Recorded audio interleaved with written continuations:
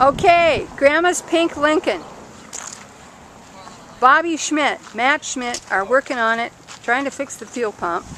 So it could be driven when? When are you going to drive it?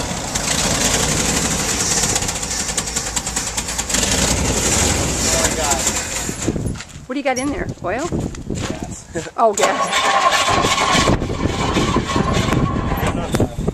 We're just pointing straight in the carburetor. There's no, nowhere else to get it. To. We can mount the gas How are you gonna get the top. bad gas on? We're not even We're gonna. gonna put that in the back. Oh my God, you still got Jess's. Can you take out Jess's uh, plate there, Bobby? I want to see it. Jess Schmidt's car. 302. I love it. Okay, give me a smile, every one of you. Kimmy, get over there. Yes. Is it Okay. video or picture? It's video. Video. Okay, thank you.